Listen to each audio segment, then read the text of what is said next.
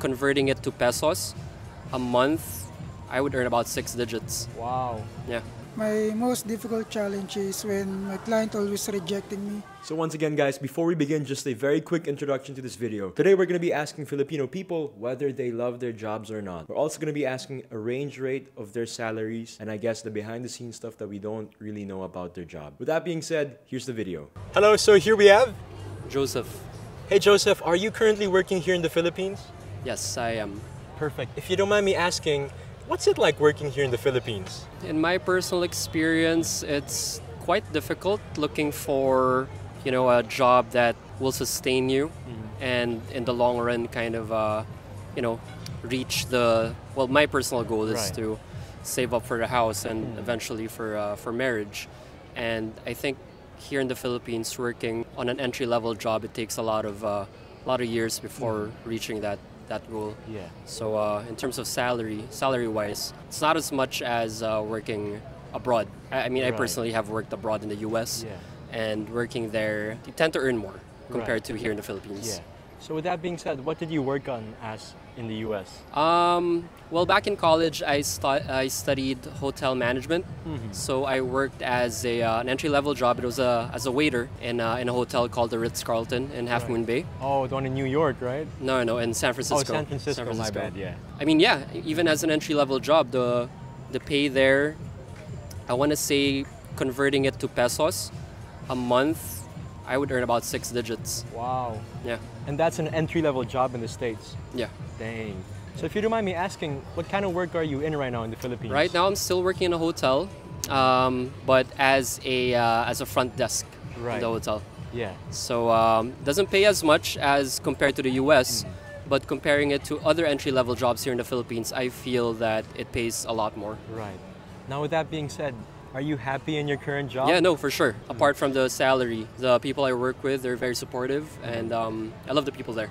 Right. Yeah. I get along with them. Do you have a horror story working in the front desk of a hotel? Uh, horror story, ha- I don't have anything specific in mind at the moment, but it's inevitable having a Yeah. lot, some guests who are de- uh, demanding, even borderline assholes. But Yeah. you know, it's part of the job. Yeah. It is what I- it is at this It is point, what you it know? is. It's Yeah. Mm-hmm. what I signed up for.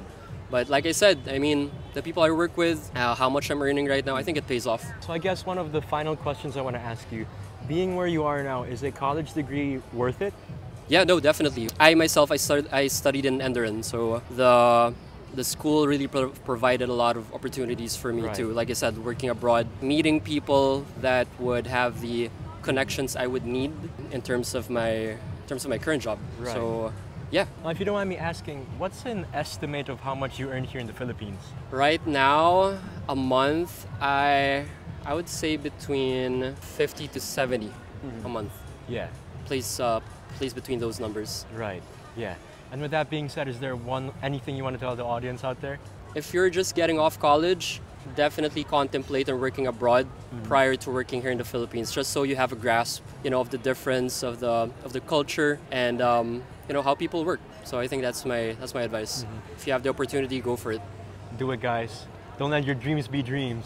with that being said, thank you so much, All right, Joseph. It's been a pleasure. Nice Hello, everyone. So here we have. Hi guys, my name is Jordan. I'm from Taguig and I'm a property specialist of Alveo Ayala Land. So hey, Jordan.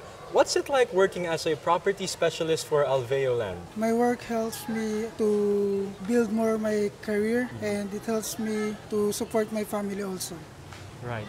So I guess one thing I want to ask you now is, do you like your job? Most likely I like my job because it helps me a lot and it helps my future also.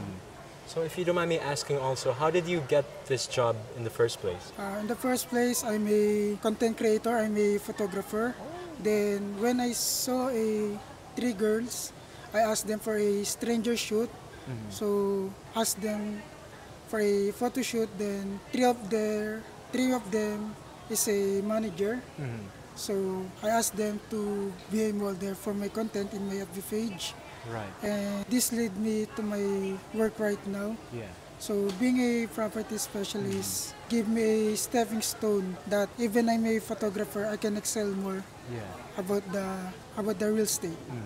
Yes. So one thing I want to ask you, what's the reality of being a real estate agent here? Is it difficult? As a beginner, yes, it's difficult, but if you work hard and have a trust with God, you can see that you're getting on step by step that God will lead you to the process. I guess what's been the most difficult challenge for you in taking this job? My most difficult challenge is when my client always rejecting me, but I always trust the God that on the right time He will give the best client for me. Mm-hmm. With that being said, if you don't mind me asking, what's an estimate of your salary here? For estimated salary, mm-hmm. it's just a normal normal rate, mm-hmm. just like an employee. Right, yeah. So just so we can be a bit more specific, is that five digits or six digits?